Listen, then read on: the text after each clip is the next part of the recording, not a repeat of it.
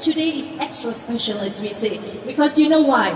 It is the first visit, so we must make the first visit of our Excellency, Your Excellency, and also Madam Mami very, very memorable. Do you all want to make it memorable? Yes?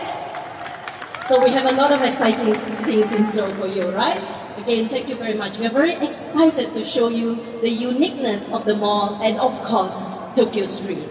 We are very proud indeed because this is the first time for a shopping mall in Malaysia that we transform a space into a Japanese precinct.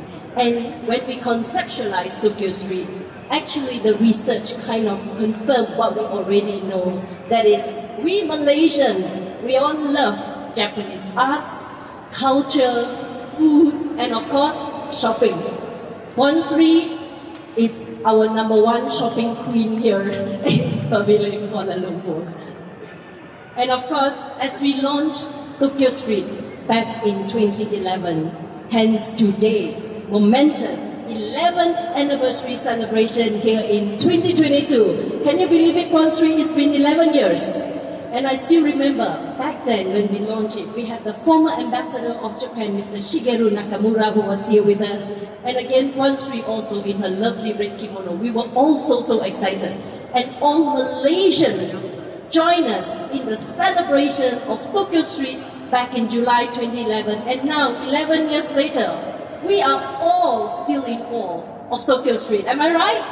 Give it up for all the hard work and again the support from all our shoppers as well and for all of you.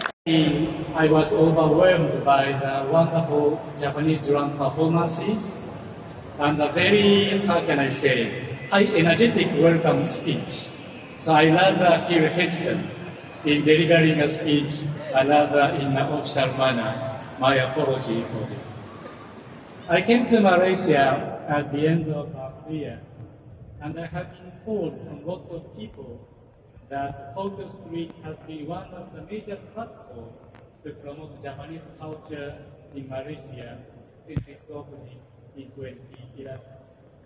I would like to take this opportunity to express my heartfelt gratitude to Pavilion Kuala for their contribution in promoting both traditional and contemporary Japanese culture to local Malaysians as well as visitors from around the world through Tokyo Street.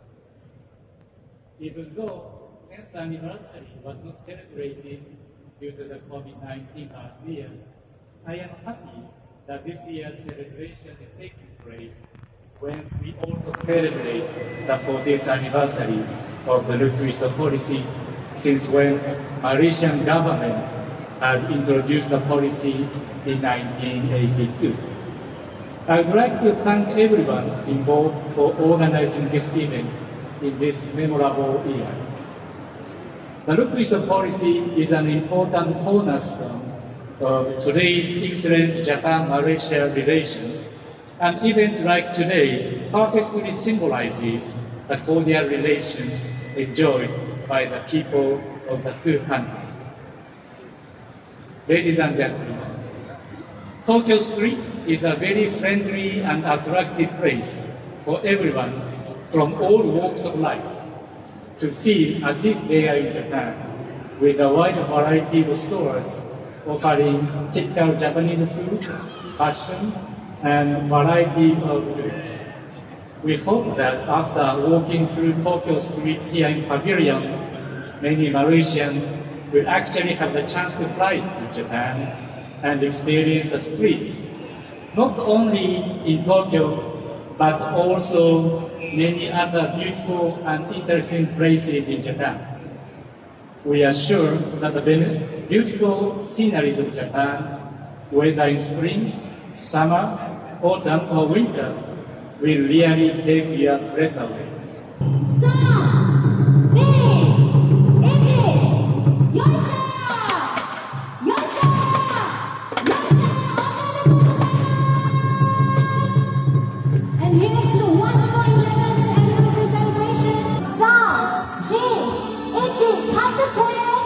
おめでとうございます